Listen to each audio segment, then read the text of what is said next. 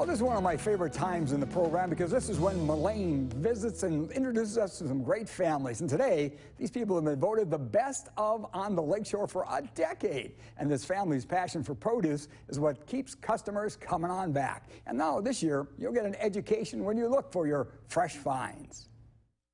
We've become so very well known that we actually see people come in and ship stuff at times to uh, New York City, to Los Angeles because we do some things that are, people feel are more special than anybody else does. It's prime season at the Wilfert Farm stand. Our farm's been in the family, in the Wilfert family since 1877.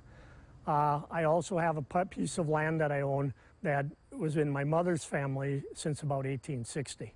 So we, we feel we got some fairly deep roots in, in Wisconsin and Manitowoc County. I grew up on a dairy farm, a little dairy farm, milking 31 cows. And uh, I started out as six years old in the barns working with calves. By the time I was 11, I started milking daily. I missed three milkings on my way to my first day at college in Oshkosh.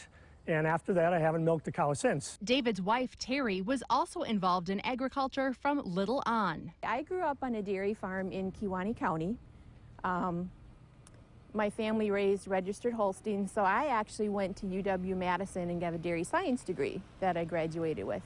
Um, never thought I'd be raising vegetables for a living. In the 70s, following a family health scare, the Wilfert family transitioned away from cows to focus on crops. Mother Nature gave their business a boost. In 88, we had a contract with Green Bay Canning Company for 40 acres of green peas.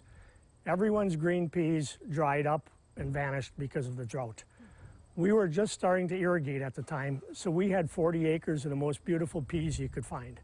And people came and said, can we end up buy some of those peas to eat? In addition to the fresh market fruit and vegetables, Wilfert Farm has two other divisions. The second division would be our processing vegetable division, which includes mainly carrots, but also some green beans.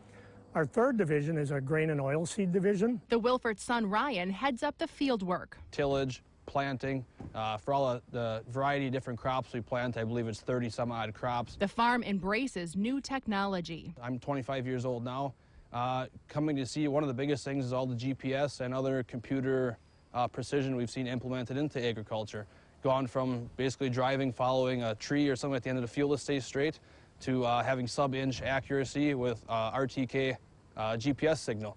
And it becomes just a precision and an accuracy of what you can do uh, increases your efficiency so you're never overlapping and you're never missing. Same thing with the sprayer, it does the same thing.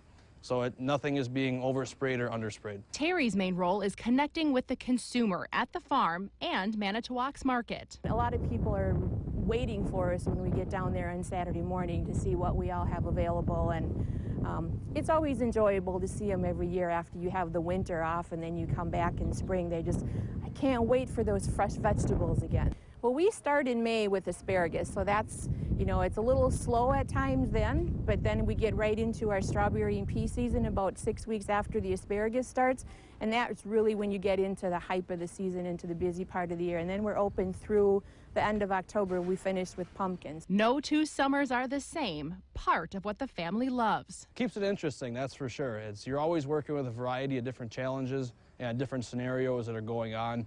And as far as uh, it's, it's never the same. Every day is different, you know, and that's part of what keeps it interesting and makes it fun also. Now, the Wilfert family is also very involved in their community. David serves on the board of directors for the Manitowoc Chamber of Commerce, and the farm supports the Mishicot FFA. They also donate tons of food annually to several food pantries, and they sell it at a discount to groups holding Corn Rose fundraisers. And just a note for you, because of this year's hot, dry weather, well, produce is running a little ahead of schedule.